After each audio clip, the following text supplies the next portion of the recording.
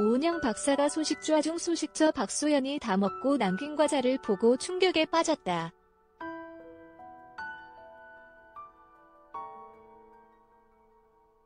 (8일) 성공개된 채널A 오은영의 금쪽 상담소에서는 박소연의 소식이 화두였다.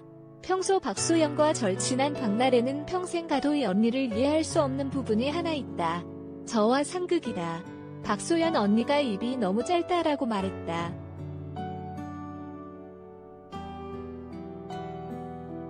그렇다. 박소연은 연예계 대표 소식주화로 유명하다. 김숙이 고발한 박소연의 식사량은 일반인들의 상상을 초월한다.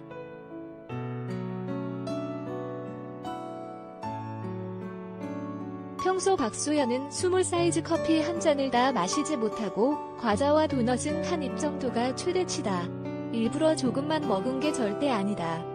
박소연은 손바닥 크기도 되지 않는 과자에 한 종 모서리만 먹고 그대로 남겼는데 박나래는 저 과자를 일주일 동안 먹는다라고 탄식했다.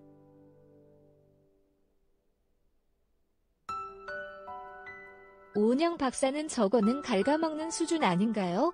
라고 놀라워했다.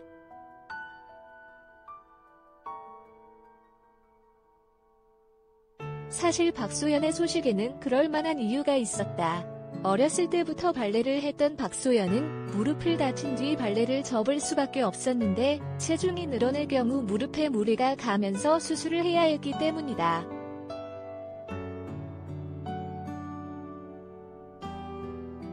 지난 2018년 MBC 에브리원 비디오 스타에서 박소연은 인대가 많이 늘어난 상태다. 몸무게가 가벼우니까 인대가 버티는 거지 몸무게가 늘게 되면 무릎 수술을 해야 한다.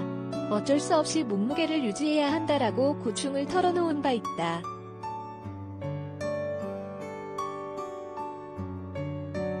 도혜민 기자, 하이민, 두의 퍼프 포스트, 케야